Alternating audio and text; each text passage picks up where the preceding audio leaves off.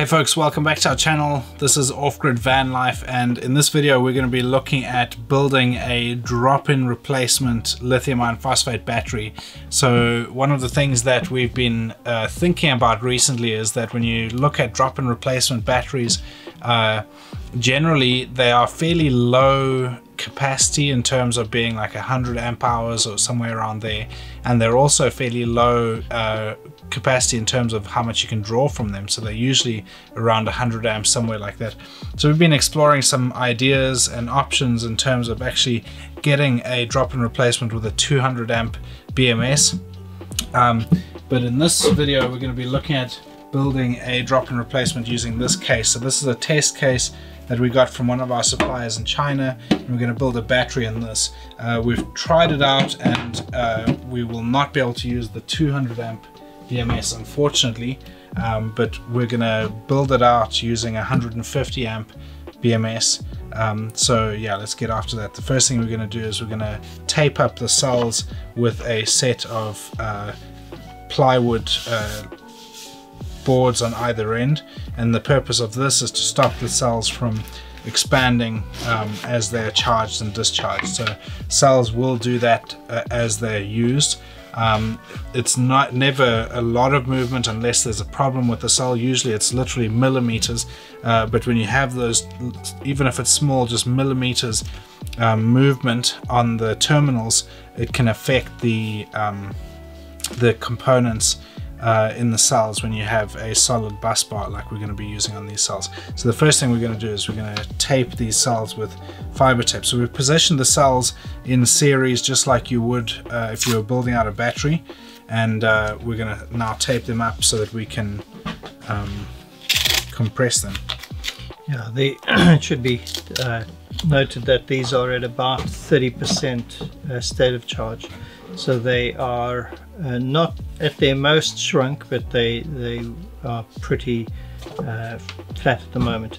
They won't swell that much, they're good quality, so they'll only swell by about a millimeter, but we're trying to actually prevent that. So let's hold them close together and swing this tape around.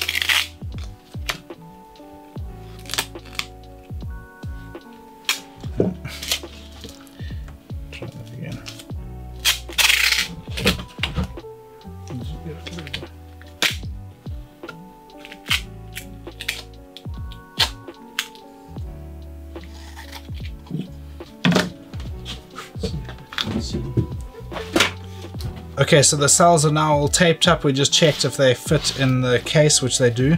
So now we're going to connect up a 100 amp BMS, and this is just purely to top balance the cells and to charge the battery.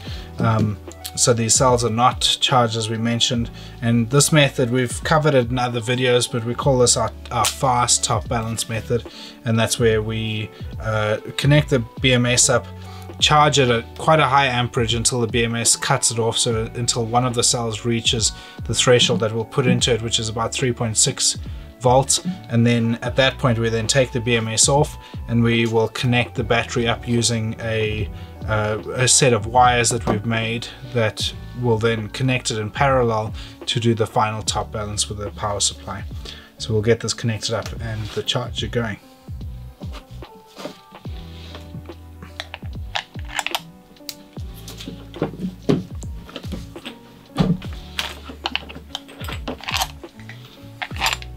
You tight enough, seeing as I don't have my safety glasses here.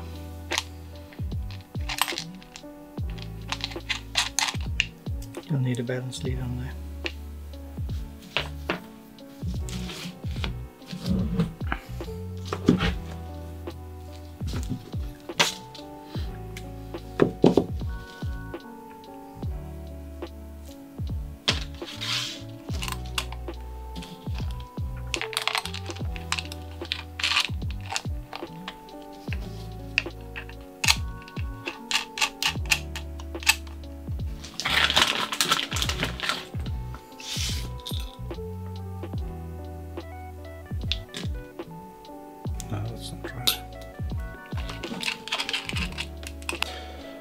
Alright, so there we go. We've got the BMS temporarily connected up there on a charger that will uh, is designed to charge the battery up to 14.6 volts. So obviously as soon as one of the cells hit that 3.6 volt threshold that I mentioned earlier, the BMS will disconnect it. At that point we'll then remove everything, we'll connect them up in parallel and we'll do a final top balance just uh, leveling everything out. Uh, and then we'll be good to go to actually put this into the case, assemble the BMS onto it in its final way um, and build out the battery. So we're to leave this charging overnight and then we'll pick it up tomorrow morning.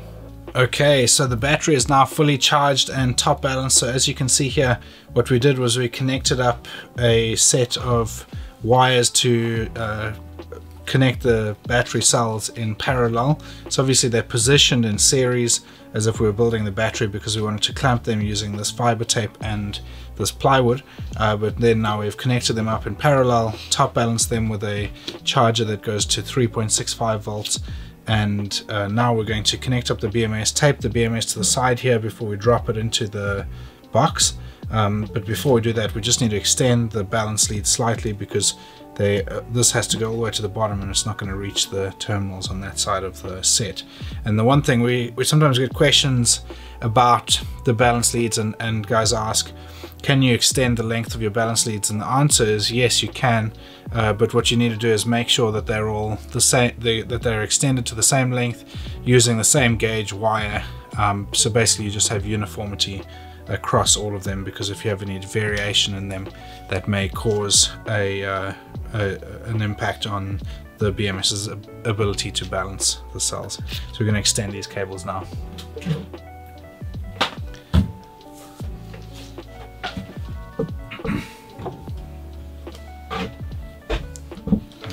We only need about six inches. Yeah,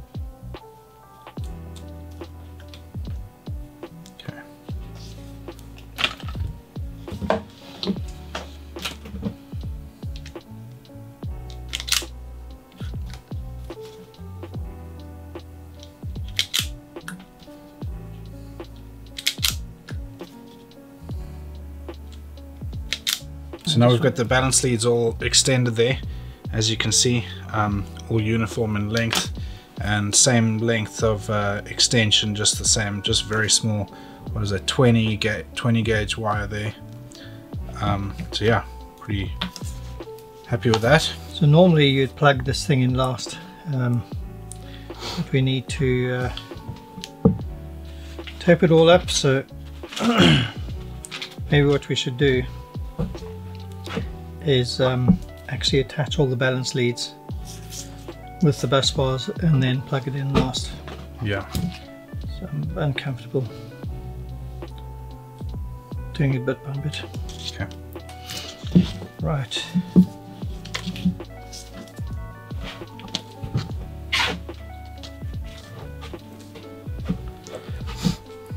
So this, the thing is that this is going to require that to be on there.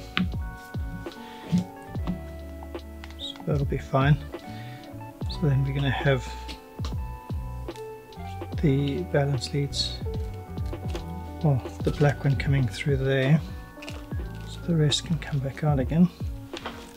Okay, so we have extended the uh, balance leads here, ready to go, and we've bent the uh, wires coming off the BMS so that it has enough clearance above it for the top of the case.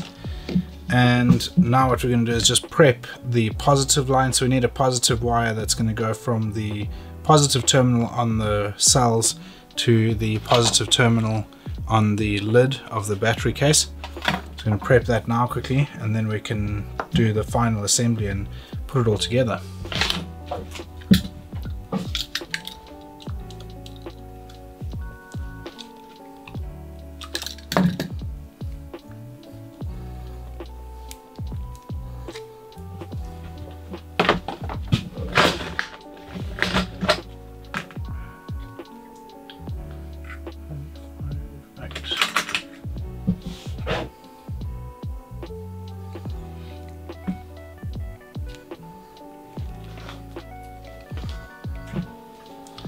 Okay, let's torque these all. now that we've got all that. Is that coming to this side? Yeah, that comes to To here? to here. Okay. So it'll be roughly here. So at this angle, that's perfect. Yeah. Okay. Um, we're going to torque all of these down to 8 newton meters.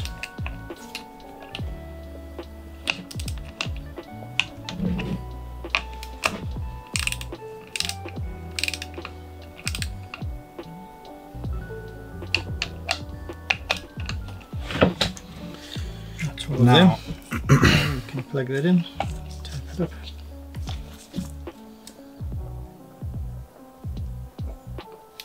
There we go. That's the balance leads plugged in there.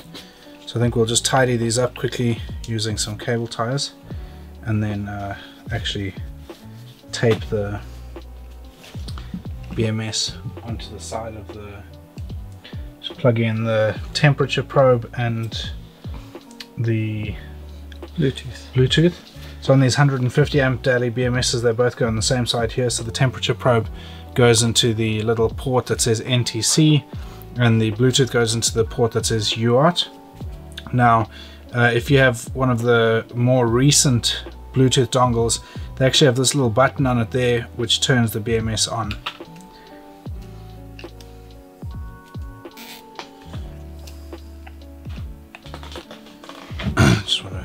Cable tie these.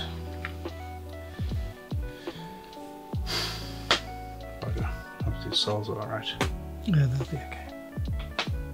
Alright, now we're going to drop it into the case here. Turn this on. Plenty of room. It actually fits really snug in this case. Doesn't have much room to move around or anything like that, so quite like that. Is that about it. Alright, let's get this lid on here and then that's us. This way.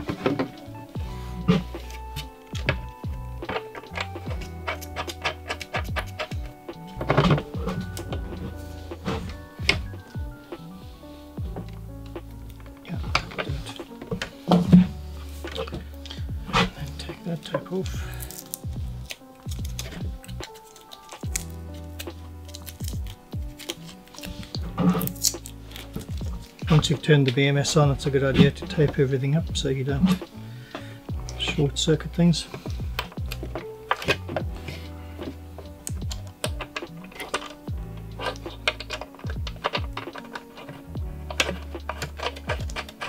Just spin that straight.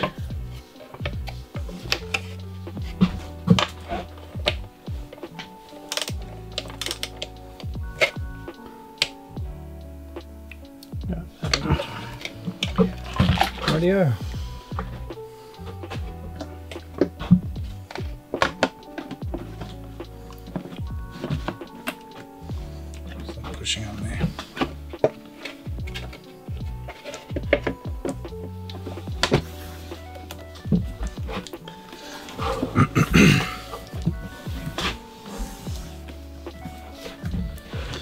okay, and there we have it. We have a drop-in replacement DIY battery in a nice plastic case like this with a 150 amp BMS which is uh, quite an impressive battery 280 amp hours. So when you check the terminals here we're on 14.14 volts which is to be expected as the cells have just been settling after being top balanced. So what we're going to do now is actually um, connect up an inverter and do a capacity test on this battery but we'll make a separate video on the capacity testing. So if you're interested in watching that then make sure you subscribe. And if you're already subscribed then that'll be out as well. But yeah we're pretty stoked with how this has turned out how it's looking. Now the trick is what we're going to do is to do some serious testing on this. Uh, so we're going to test it now initially with a draw. We'll probably run this fan heater here which will draw probably 100 and probably max out the BMS pretty much um, and then we will uh, do some further testing back in England, my dad will take this back with him and put it into the controlled temperature environment and do some testing. Probably push that temperature up to fairly high temperature, so it'll be good to do some testing at like 35 degrees, um, just so that we can really uh, figure out if there's going to be any issue with overheating or anything like that. Um, but yeah, thanks for watching and I hope this video has been helpful. If you have any comments or questions about this or any of the battery stuff that we put on the channel or anything van related, then uh, drop it in the comments. We'd love to hear from you and we'll respond to every comment. So thanks for watching and we'll see you in the next video. Cheers. Cheers.